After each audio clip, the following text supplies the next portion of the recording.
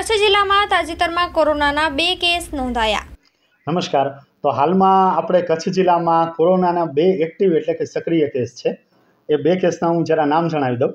બે કેસમાં એક કેસનું, પહેલા કેસનું નામ છે વિનોદભાઈ રામચંદ્રભાઈ સિંહ વિનોદભાઈ, રામચંદ્રભાઈ સિંહ અને તે વરસામેળી ગામના છે, તાલુકો અંજાર, ત્યાંના છે.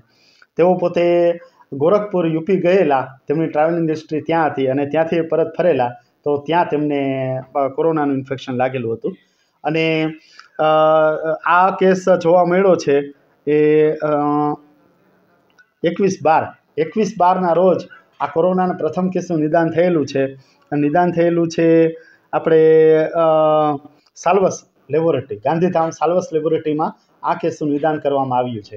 તો હવે અત્યારે હાલમાં વિનોદભાઈ એકદમ સ્વસ્થ છે. વિનોદભાઈને પંદર દિવસ સંપૂર્ણપણે હોમ આઇસોલેશનમાં રાખવામાં આવેલા અને તેમને જરૂરી દવાઓ, ઓક્સિજન વગેરે આપવામાં આવેલું અને હવે તેમની તબિયત એકદમ ઓકે છે. અને તેમના તમામ ઘરના સભ્યોનું પણ કોન્ટેક્ટ ટ્રેસિંગ એટલે કે તેમની પણ તપાસ કરવામાં આવેલી અને તેમને પણ જરૂરી આરોગ્ય શિક્ષણ આપવામાં આવેલું. તો આપણે વાત થઈ ગઈ પહેલા કેસની હવે કોરોનાના બીજા કેસની વાત કરીએ તો બીજો કેસ છે દસમી જાન્યુઆરી આ વર્ષે મળેલો. બે હજાર ચોવીસમાં. દસમી જાન્યુઆરી બે હજાર ચોવીસમાં મળેલો અને તેનું નામ છે નારણભાઈ પ્રજાપતિ. નારણભાઈ પ્રજાપતિ ત્રેસાઠ વર્ષના છે અને તેઓ ગાંધીધામના છે. તેઓ રહે છે ગાંધીધામમાં.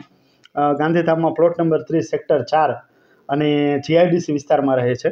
તો તેમને પણ આરટીપીસીઆર ટેસ્ટ કરવામાં આવેલી અને સાલ્વસ લેબોરેટરીમાં તેમનું નિદાન થયેલું અને તેમને પણ હોમ આઇસોલેશન, જરૂરી દવાઓ, સારવાર માસ્ક ઓક્સિજન વગેરે આપવામાં આવેલું અને હવે તેમની તબિયત પણ એકદમ સારી છે. અને તેમના પણ પરિવારના સભ્યોનું, આજુબાજુના લોકોનું કોન્ટેક્ટ ટ્રેસિંગ એટલે કે તપાસ કરવામાં આવેલી કોરોના માટેની અને તેમાં કોઈ પોઝિટિવ કેસ મળેલ નથી. આમ, આપણે હાલમાં સક્રિય બે કેસ છે, નોંધાયેલા છે. તો જાહેર જનતાને મારે કહેવાનું કે બસ કોરોના વિશે એલર્ટ રહેજો બધા.